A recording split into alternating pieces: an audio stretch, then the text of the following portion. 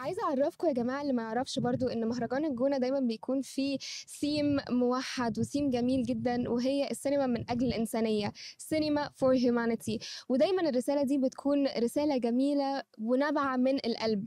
آآ وبالذات في ظِل الأحداث اللي إحنا بنشوفها في الوطن العربي كُلّه الفترة اللي فاتت آآ إن إحنا نشوف مهرجان بيتكلّم عن السينما من أجل الإنسانية دي حاجة مهمة جدًا، جدًا حقيقي.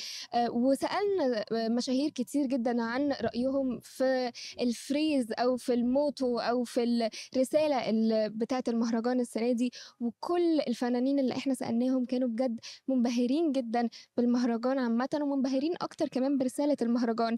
غير كده كمان في أفلام كتيرة أوي كانت بتتعرض آآ ولسه هتتعرض خلال المهرجان كامل آآ أفلام بتتكلّم عن قضايا مهمة جدًا. آآ مش مجرّد قضايا سياسية بس قضايا بالضبط. أنا مثلًا زي فيلم امبارح مثلًا اللي إحنا شُفناه بالضبط كده. امبارح دخلنا فيلم رفعت عيني للسما الفيلم مبدئيًا معمول من أو بيحُط ال الإضاءة أو الspotlight على آآ بنات الصعيد وقد إيه هم بيعانوا في حياتهم الطبيعية، قد إيه حاجات كتيرة أوي هم بيعملوها والمفروض إن هي تكون حاجات مش عيب، مش حرام م تصنّف تحت قِلّة أدب، قِلّة حيا آآ وفي traumas كتيرة جدًا بتواجهها بنات الصعيد ما نقدرش عشان يوصلوا لأحلامهم. بالضبط، ما نقدرش إن إحنا نحكي تفاصيل أكتر من كده لحد ما الفيلم ينزل في السينمات ولمعلوماتكم الفيلم documentary بس هيكون أول documentary بيتعرض في السينمات أو هيتعرض في السينمات كُلّها يوم 8 آه. نوفمبر، فالناس كُلّها هتقدر إن هي تدخل الفيلم وتتفرّج آه. عليه. وعايزة أقول لكم كمان إنه حاجة أنا شخصيًا فخورة بيها أوي، إنه الفيلم ده آآ يعتبر أول فيلم مصري يكسب the golden eye award في Cannes film festival ال77 اهم. فدي حاجة أنا كنت فخورة بيها أوي، كنت مبسوطة أوي إن أنا آآ باتفرّج على فيلم يعتبر الأول اللي يكسب في الCannes film festival وأول مش أول فيلم بس، أول فيلم مصري أيوه. و وإن يكون أول فيلم مصري يكسب في الCannes film festival الgolden eye award يكون documentary. حاسة إن دي حاجة مختلفة، حاسة إن إحنا دايمًا بنسلّط الضوء أكتر على الأفلام الfiction أو الأفلام العادية يعني.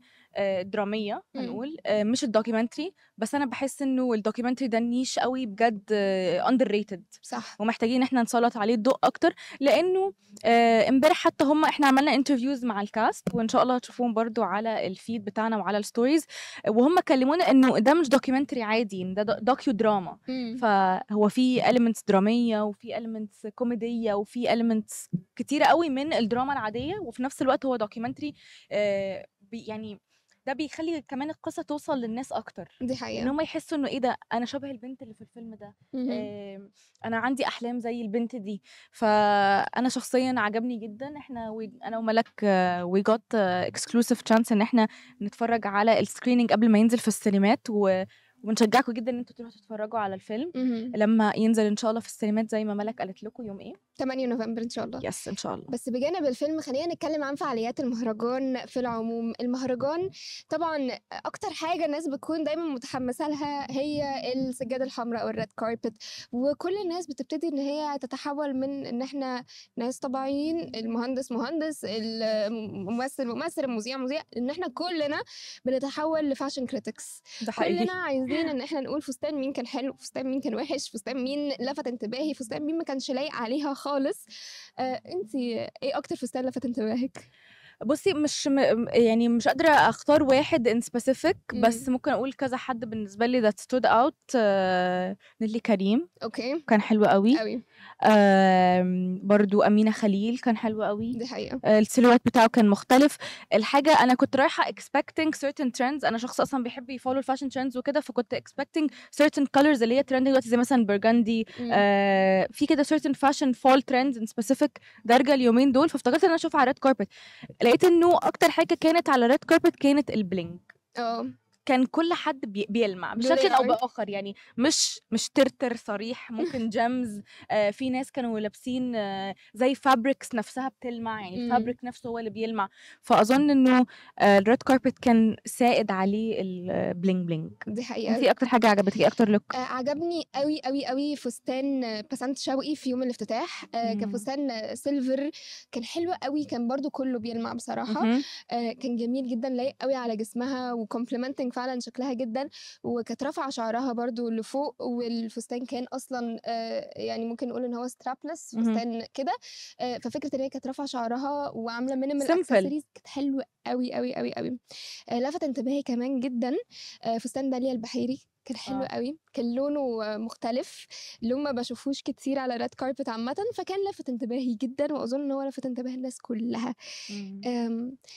بجانب بقى كمان اللي بيحصل بالليل والred carpet وحفل الافتتاح، آآ حفل الافتتاح برضه آآ أحياه آآ 3 فنانين وبصراحة كانوا عاملين medley للأغاني الأيقونية بتاعة السينما، والmedley كانت حلوة أوي، أوي، أوي، آآ وكانت فيها انسيابية جميلة جدًا، بينقلوا من أغنية للتانية، وفي نفس الوقت الvisuals اللي وراهم بتتغير، ففي كل نقلة visual آآ تحسي إن أنتِ دخلتِ فيلم تاني، وأفلام بجد قريبة جدًا على قلبنا، طبعًا. وأغاني قريبة جدًا، جدًا على قلبنا. عاجبني إن كان في آآ يعني تسليط ضوء جامد أوي على أي حاجة من الزمن الجميل، وإن إحنا بنسترجع أوي زمن الأفلام الجميل والأبيض وأسود والستينات والتمانينات والتسعينات، يعني أخدونا على رحلة كده through كل الحقبات الزمنية آآ للسينما المصرية، حتى كان في exhibition بجد كان فعلًا خطير، إمم. بياخدِك through التطور السينما المصرية في محافظات مختلفة وlocations مختلفة على آآ على مَر ال السنين وعلى اهم. مَر العصور المختلفة، آآ الستينات زي ما قُلت لكم، الخمسينات حتى صح. آآ وكان وكانوا كمان بيورونا on screen بقى الtransition يعني أنت تقدر تشوف in real time الtransition ما بين كل حقبة زمنية اهم. آآ في السينما المصرية، وحقيقي آآ إحنا أبدعنا. في كل في كل الأوقات بصراحة أبدعنا. إحنا المصريين، بالضبط. إحنا التراث، إمم. إحنا إحنا كتير أوي، إحنا تُقال جدًا، جدًا، جدًا في الصناعة، إمم.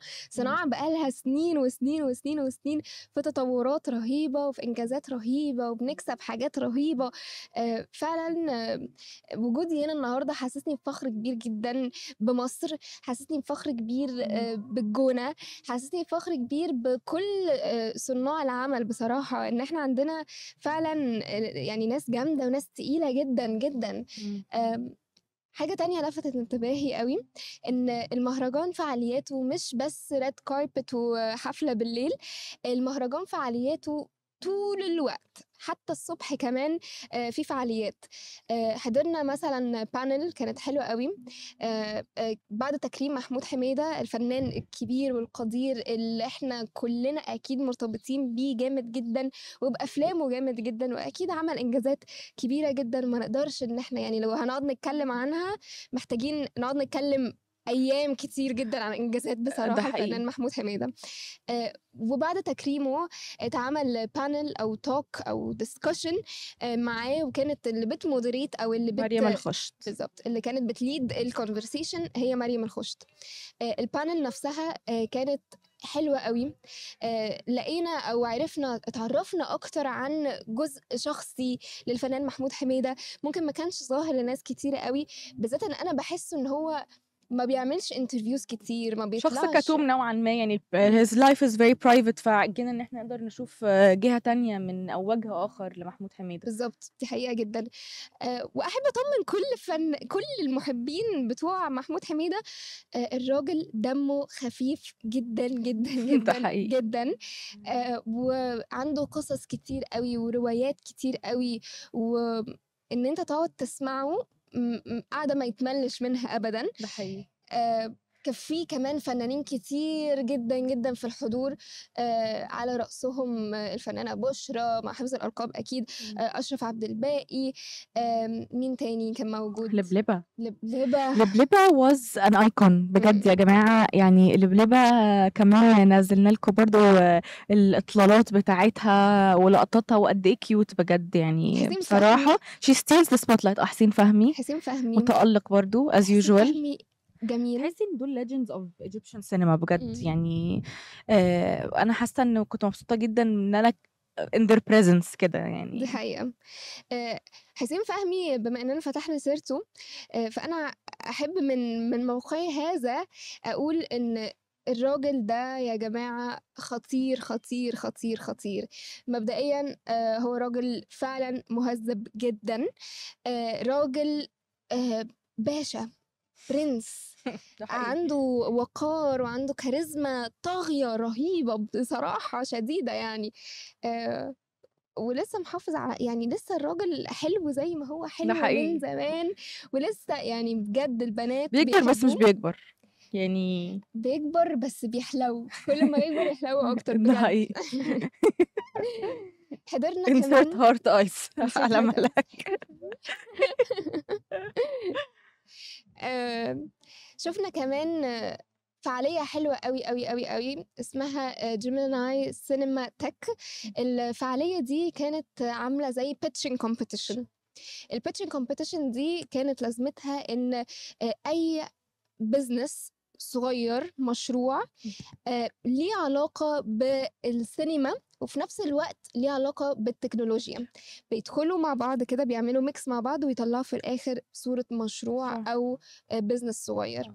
يطلعوا ي pitch ال business بتاعهم أو فكرة المشروع بتاعهم آه، بإنجازاتهم بال road map بتاعتهم هم ناويين يعملوا إيه في 2023 2024 2025 وقدام panel من ال judges من ضمنهم كان في آه، عدلي توما كان في نيلي كريم كان في أمينة خليل خليل. كان في محمد فراج واللبلبه في- دخلت برضو في الآخر في آه. ال panel of judges برضو آه، كان في يعني judges آه. موجودين آه. وبيدوهم feedback عن رأيهم آه. و آه، أصحاب أو رواد الأعمال بيسألوا for an ask آه. investment يعني مثلا إحنا عارضين 600 آه، يعني 15% ل 600 ألف جنيه. آه، Shark Tank cinematic edition بالظبط. Shark. Tank cinematic edition بالظبط. وفي الآخر هم بيختاروا ال top 3 بالنسبة لهم ال top 3 businesses اللي هم شايفين إن هم عايزين يدعموهم financially و connections wise وكده. وبصراحه اتفاجئت جدا على اختيارهم لل number 1 لأن مش عشان ال idea مش حلوة أو حاجة ال idea was very brilliant وال idea was very creative بس عشان هي حاجة kind of بتحارب ال cinema industry as we know it. وهي إنه آه، أول business كسبت ال- المركز الأول وهي أصلا أصلا المركز الأول هو بس اللي بيكسب الجائزه المالية. okay. التاني والتالت بس kind of حاجة يعني كسبوا رمزيا يعني okay. هنقول.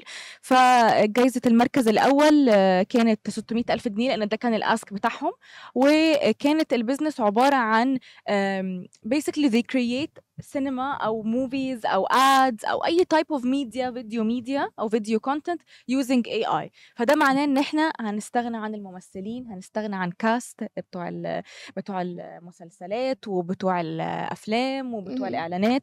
فدي حاجة يعني بس برضه علشان ما نظلمهمش هم أكدوا مرارا وتكرارا. حتى ال judges أكدوا إن إحنا ما نقدرش ابدا إن إحنا نستغنى عن عن الناس. فنانينا yes وقالوا كمان إن أنا ما أقدرش أخلي AI أو رابط أو أو أو أو ياخد مكان نيلي كريم مثلا أو ياخد مكان أمينة خليل أو ياخد مكان محمد فراج. ال human element ده هو اللي بيدي أي حاجة الروح والطعم وال... والتمثيل. التمثيل ده نابع من طبعا جوه. في مشاعر. أكيد عمر ما ال robots أو ال AI هيقدر إن هو يعني يطلعهم زي البني آدمين. و, و our colleague نيره actually commented on this before قالت إنه هي حاسة إنه ال project دي هتبقى أحلى أكتر في ال animation وكده أو هت serve أكتر في ال animation أو هتهدد أكتر يعني ال sector بتاع ال animation أكتر مم. من الأفلام العادية انت رأيك إيه أنا شايفة كمان إن بجانب ال animation أنا شايفة إن هي تنفع قوي قوي قوي في أي حاجة ليها علاقة ب CGI أو ب special effects يعني لو في مثلا فيلم رعب فالموضوع ده هيساعد جدا جدا. آه، لو في آه، آه، حاجة حد مثلا متعور جامد جدا في وشه فبدل ما نحط له special effects makeup فإحنا ممكن نستغنى عن ال makeup artist بتاع special effects بس ما نستغناش عن الفنانين اللي بيمثلوا الدور. مش عارفة how realistic would that look though يعني حاسة إن إحنا لسه ما وصلناش قوي بال AI لده والله أعلم برضو لأن هم قالوا إن هم مش بيستخدموا برضو بس AI بيستخدموا multiple things motion graphics مع AI يعني مش بس relying على التكنولوجي ده بس وده اللي بيميزهم إن هم مش. بس بيستخدموا ال AI بيستخدموا كذا tool وعندهم graphic designers وع يعني different expertise come together عشان يطلعوا الأفلام دي فهي مش بس AI. فأنا شايفة بصراحة إنه it's a cool concept و congratulations ليهم آه وهنشوف ال future هياخدنا فين in terms of AI ده أكيد. بس. بجانب كده كمان كان في برضو panel أو discussion مع إسعاد يونس النجمة الجميلة الفنانة المقربة جدا جدا لقلوبنا كلنا آه، واللي كانت برضو بت lead ال discussion أو اللي بت moderate هي يسرا برضه فنانة جميلة ونحبها آه. كلنا. آه، وبرضه كانت فعلا discussion حلوة قوي شفنا منها لقطات كتيرة جدا جدا ده غير كان في demand عالي جدا على الحضور. يعني طبعا.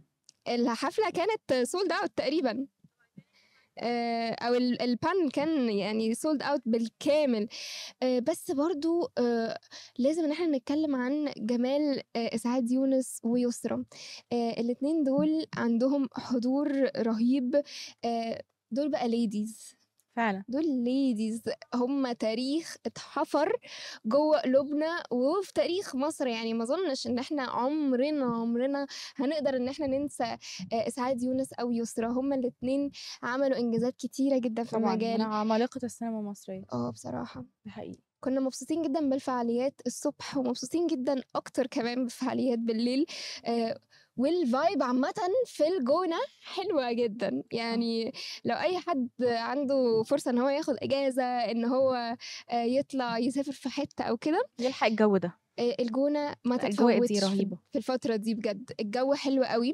آه، المشاهير في كل حتة. فلو أنت بتحب المشاهير بتحب الفنانين على طول طول ما أنت ماشي هتلاقي فنان. معدي. هتلاقي فنان كده معدي فعلى طول تمسك ممكن أتصور معاك؟ تك. ممكن أتصور معاك؟ تك. ودي آه، حاجة برضو من الحاجات الحلوة قوي اللي موجودة آه، في فعاليات مهرجان الجونة السينمائي والحاجات اللي مهرجان الجونة السينمائي بيجيبها كده على الترابيزة. آه، مبسوطين جدا بوجودنا هنا. فعلا. حابين نشكر كل القائمين عن المهرجان. فعلا المجهود اللي محطوط في تنظيم المهرجان مهول بجد. كبير جدا. مم. يشكروا عليه آه، بقالهم شهور كتيرة قوي بيحضروا بيظبطوا بيتمرنوا إن هم ي lead المهرجان ده والمهرجان يمشي بطريقة سموث وجميلة ولحد دلوقتي المهرجان ماشي حلو قوي قوي قوي. وبرضه حابين نشكر كل الفنانين اللي ادونا آه لحظات من وقتهم وادونا كلمات لطيفة لكاميرا Lovin Cairo آه و stay tuned for that عشان كل الحاجات دي هتنزل. ف check our TikTok check our Instagram check كل ال platforms check check check check check